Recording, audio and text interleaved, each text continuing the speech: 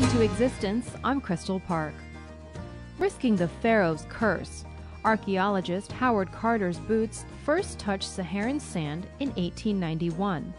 Before his arrival, his predecessors, both fellow archaeologists and grave robbers, had already discovered the location of most of the pyramids, but the Brit was undeterred.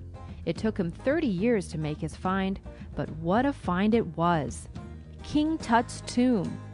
King Tutankhamun, the 18 year old pharaoh, was entombed near the entrance of King Ramses VI. Lit by torches, Carter and his team were the first to descend the stairs to the tomb in 3,000 years.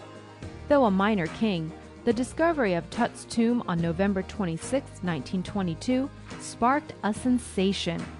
Carter and his team uncovered thousands of artifacts, including the mummy of the boy king Tutankhamun. The world gawked at the riches. Today, the tomb lies mostly empty, except for perhaps its curse. Its treasures and the history it tells have been moved and safeguarded inside the Cairo Museum.